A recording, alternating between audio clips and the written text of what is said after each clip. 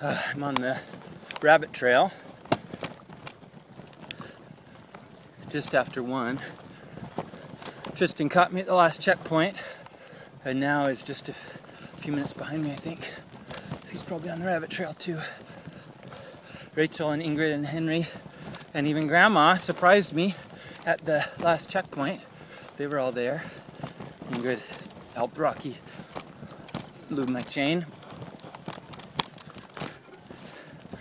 Feeling tired, but good. Just have a few cramps, you know, when I fall off, but pretty reasonable. I heard that Kevin's out front now with more than 10 minutes on Tyson. And Tyson's got 45 minutes or more on me.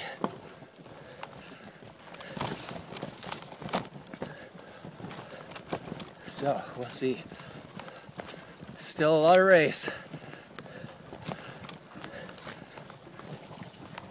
They bugged oak me up, so you know there are lots of bugs in here. They're not bothering me. Cool. Love ya.